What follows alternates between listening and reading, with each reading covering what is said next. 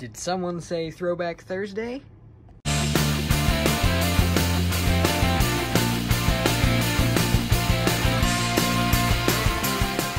Today I'm going to do something we don't do very often, and that is I'm going to send you guys off to time-lapse.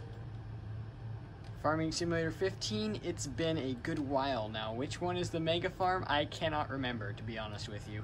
I think it's this one with the 109 hours but no money. It's the FS14 music! Do you guys remember this? If any of you guys played FS14, this music is like ancient history.